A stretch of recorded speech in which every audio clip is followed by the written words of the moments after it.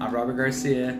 I am a supervisor at machine shop. So my motives to going plant-based are generally health reasons. Uh, I did have to have a surgery years ago to get my gallbladder taken out, and that's when I started doing research on different foods and how certain foods will affect your body. I was actually plant-based for a while then, and due to life circumstances, I kind of got away from it. And that's also when I began cycling to lose a bunch of weight. So I got into cycling then, wasn't plant-based initially, but kind of graduated to that. And recently moved out here where I took a job and started kind of flirting around with the bicycle again and uh, immediately thought just with the way things are going the benefits I got last time you know as far as recovery time is way less just how I feel when I'm out on the bike I feel lighter I don't feel all bloated you know bogged down So, how long have you been plant based? I would say a little over a year Got it. pretty much there probably 95% I transitioned as far as taking meat out completely Mm-hmm. but then it was the dairy that kept me Right. it was that was the hardest part Mm-hmm. and to be 100% honest i don't always succeed at that but when i can buy an alternative i will Yeah. the ones that taste the best are quite expensive Yeah. No, absolutely. And it's not it's not easily um, accessible. right You know, and it's, it can be very hard to maintain. And dairy is just addictive. Right. You know, in general. And like Yeah. the premise of Whole Harvest is, is progress, not perfection. right And yeah and and with and with like your meal is already complete i don't have to like try to add anything to it i don't need to add cheese to it i don't need to right. you know find a substitute to add to it because it's already complete enough By replacing one meal a day, we know we're making a difference. Right. Okay. And so, what about your family? Where are they at in this journey?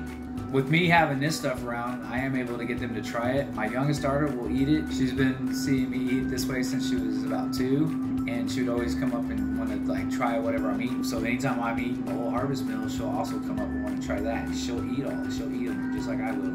That's really cool. Um, the other ones do try them, but they're, you know, Right. maybe maybe in time. Right. Yeah. So, Yeah. do you eat a separate dinner from them, or do you guys like? Yeah, I usually come home after work and just one of these up. Got it.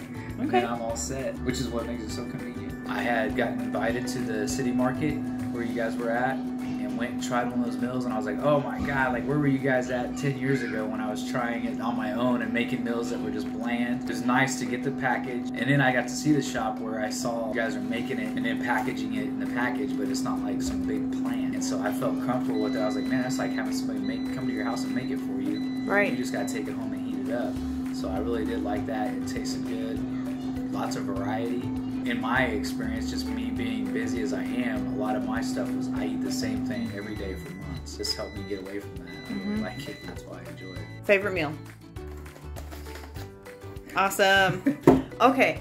So, if someone was struggling to make the decision to switch to plant-based, what piece of advice would you give them? That the only per- the only person keeping score is himself. Say like when I first like I was making the transition, I was like I would eat some, I would eat meat, and I'd be like, ah man, I probably should do that. That- And I picture the health consequences later. Because if you look at like the main causes of death, it's it's heart disease. And that translates to diet. In my opinion, I'm no doctor, but just from what I see Mm-hmm. and what I hear, and I got family who are diabetic. I know that if I continue and I follow that same path, like I already know the outcome. I think about that when I go to, you know, when it's time to eat. I try to remember those things. And if I don't, if I don't do it right that day, there's tomorrow. You know, and then over time, they say 30, 30 days we can create new habits, and that's kind of how it starts for me.